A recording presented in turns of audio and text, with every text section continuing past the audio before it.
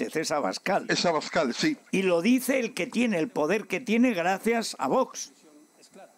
Es, es asombroso.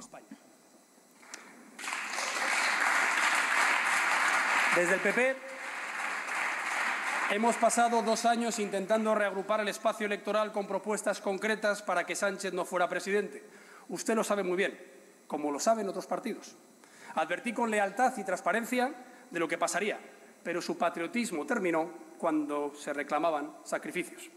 Y usted acabó debilitando a España solo para parlamentar ahora que lamenta esa debilidad.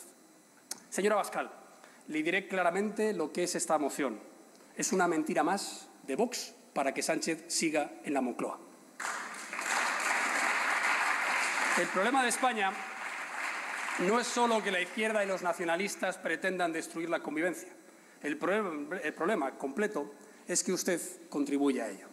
A la estrategia de ruptura horizontal de ellos se suma la estrategia de ruptura vertical. Es el mismo discurso que la CUP. Es la CUP, de que es fabrica Podemos, es independentistas, Podemos, sí. es lo mismo, usted fabrica independentistas. Sí, pero con una diferencia, Es y es que cuando salga Pablo Iglesias o Pedro Sánchez a replicar, le pedirá a Pablo Casado que entonces, con un partido tan mentiroso y tan destructivo, Deje de puede formar estar- gobierno. Claro, no puede estar gobernando a la mitad de los Andalucía, españoles, Madrid, Andalucía, eh, Madrid, Murcia, Castis, el Ayuntamiento de Madrid. Usted y yo estamos en los lados opuestos de esa disputa. Vox es parte del bloque de la ruptura con Sánchez e Iglesias. Bueno, bueno, Bueno, bueno, bueno, bueno, bueno, bueno, bueno, esto ya es tremendo, ¿eh? O sea, que Vox está contra el rey, la nación y la constitución. Tócate las narices, Pepito. No somos equiparables. Son muchos.